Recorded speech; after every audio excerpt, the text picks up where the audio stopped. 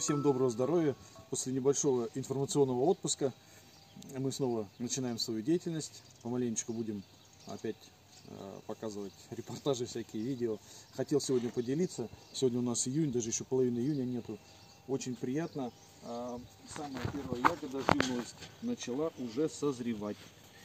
Вот. И э, я так любил э, сорта интересные, большие, ну как бы и люблю, то есть еще когда еще в городе жил, и мне хотелось всегда, чтобы был вот этот сорт, два сорта, Бакчарский великан.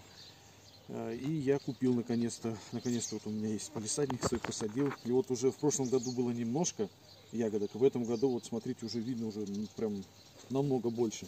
Вот тут вот тоже прям веточки такие тяжелые, сейчас даже немножко подвязать пришлось. Вот. Здесь какая-то какая-то безродная э, жимолость. Ну, то есть какой-то у нее есть сорт, я не знаю, мне ее просто подарили. Вот. И э, жимолость сорта амфора. Тоже вот такие крупные ягоды. Прямо такие несколько штук. Первая ягода. Но дело в том, что вот она еще не вся э, созрела. Как бы это вот все сорта, кроме кроме сорта Бирель. Вот Бирель интересная жимолость. Мы ее тоже купили в этом году, посадили. Будем смотреть, как она себя ведет. Говорят, что она не опадает. Вот. В этом году вообще интересная погода.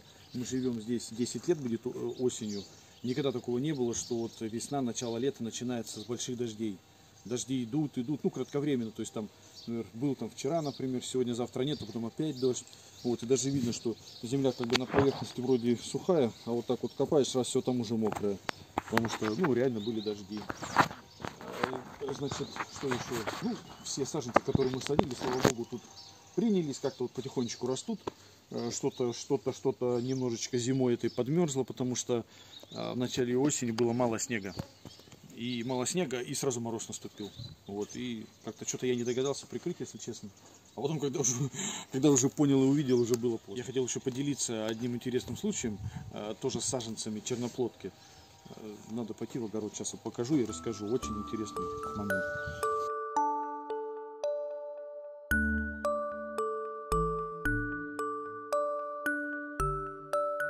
Вот у нас черноплодка, три саженца мне подарил э, мой родственник. Значит, э, когда он мне подарил, у меня огород еще был небольшой, я их посадил, ну вот видно, там вот трава вот эта вот как на покосе, пырей. Вот, и просто выкопал там квадратики небольшие на штык и посадил. И вот они как бы растут там как-то вяло, тихо так, вроде год, второй проходит, а они вот как были там небольшие. Я думаю, странно, думаю, то ли они какие-то хилые, то ли что.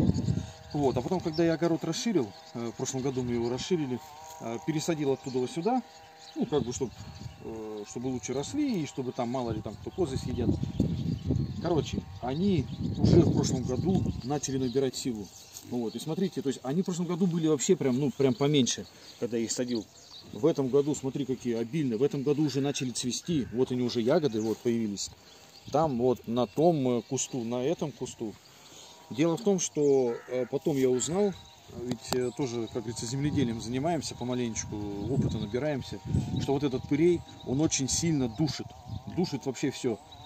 Вот. И душил все эти годы, получается, нашу черноплодку. Она не могла никак развиваться. И вот когда я сюда уже теперь посадил, вот теперь прям это все так воодушевилось, все так начало расти.